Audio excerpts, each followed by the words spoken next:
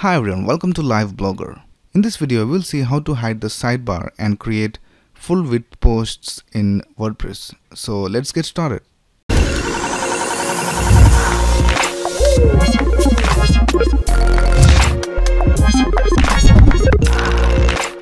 Now this is the dashboard of uh, my website and if I go to appearance themes you can see I'm using the 2016 theme and uh, if I go to my website here we can see the website and uh, here we have the sidebar. So what we want to do is uh, we want to remove this sidebar from all the posts in WordPress. So if I go to this post over here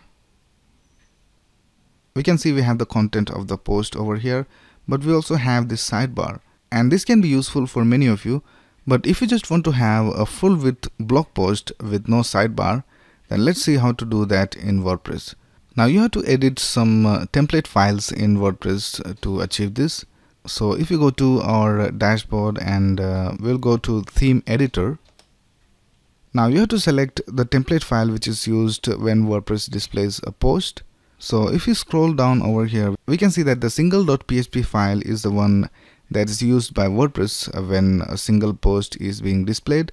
So let's click on that. Now whenever you want to display a sidebar in WordPress, you have to write this uh, function called get sidebar. So let's search for get sidebar in this uh, file.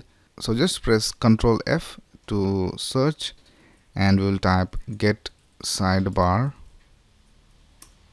and we can see a sidebar over here if you press enter again we can see we have one more sidebar so two sidebars are being loaded on this page so let's see which of these sidebars contain this data over here. So we'll just open widgets in a new tab. And here we can see we have the sidebar which contains search recent posts recent comments. And if we go to our post we can see this is the sidebar that we see over there. And uh, this is the content bottom two sidebar. So we have to remove this sidebar from our single.php file so let's just go to our dashboard and uh, here. We'll just go ahead and uh, comment this line of code. If you want you can also delete this uh, but I'll just comment it out. Now if you don't know how to comment in HTML you have to just type less than exclamation and uh, hyphen hyphen and uh, you have to close the comment with hyphen hyphen greater than or if you want to use a shortcut you can press control plus forward slash and it will add and remove comments to the code so let's go ahead and update this file and we can see the file is edited successfully so let's go to our website and uh, we'll refresh our page so here we see that the sidebar has been removed from our post.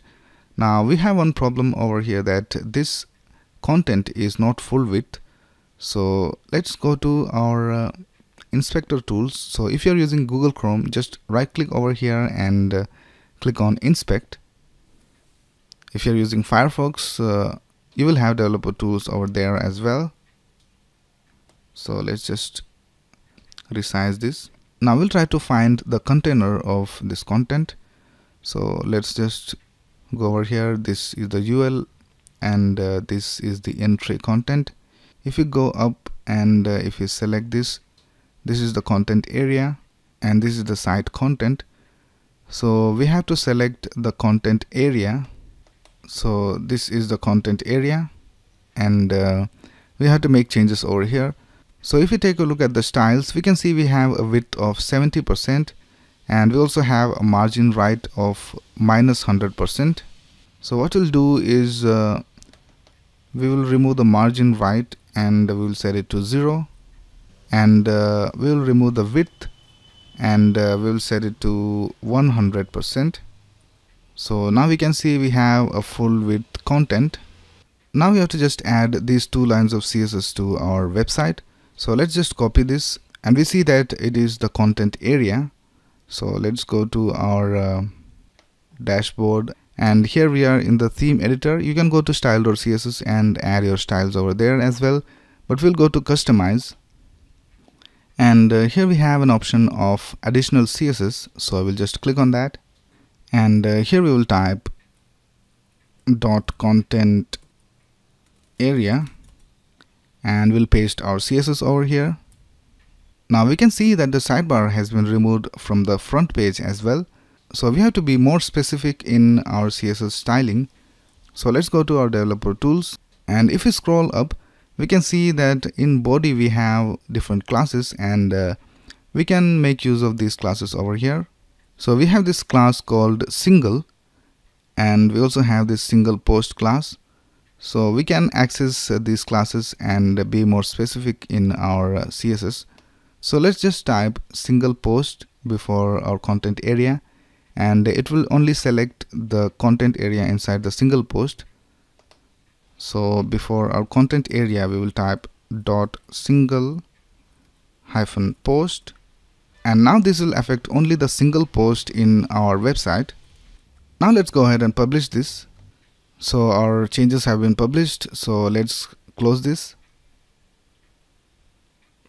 And uh, we'll go to our uh, website and we'll just refresh our page and uh, here we can see we have this full width content and we also don't have the sidebar.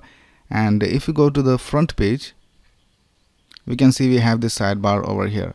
So in this way you can remove a sidebar from a post in WordPress.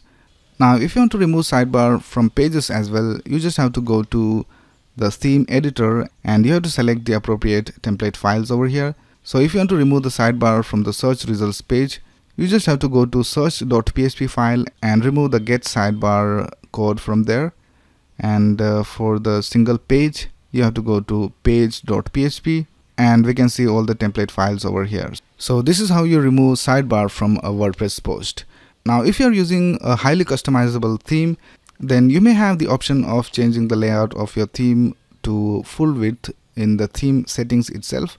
But for themes like this where you don't have any option you can go ahead and edit these template files so that's basically it for this video if you have any doubts you can ask in the comments below and subscribe to this channel to get the latest video updates Thanks a lot for watching. Have a nice day.